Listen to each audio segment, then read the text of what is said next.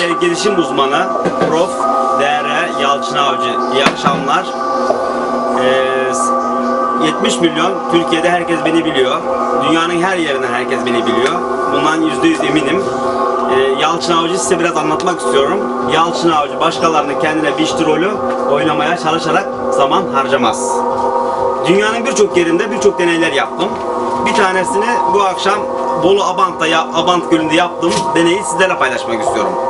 Bolu Abant'ta e, bütün balıkları çıkarttık başka bir yere koyduk. E, New York'tan da e, bir köpek balığı getirdik. Büyük bir köpek balığı getirdik.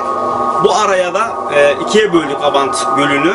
Araya bir tane büyük cam bölme koyduk.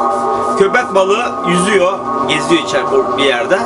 E, bir zaman sonra, bir iki gün sonra cam bölmeyi kaldırdık. Öbür bölmeye de balıklar koyduk. Balıklar bu tarafa gelmiyor. Cam bölmeyi kaldırmadık. Cam bölme diye çarpıyor köpek balığı. İki gün sonra eee, camı kaldırdık. Köpek balığı artık öbür tarafa geçmiyor. Yani hala eee, köpek balığı öldü. Yani hayat böyle bir şey. Eee, bir kere başarısızlığı başarısızlık yaşadığımız zaman ileriki zamanlarda hep bu başarısızlığı yaşayacağız gibi e, hesaplıyoruz.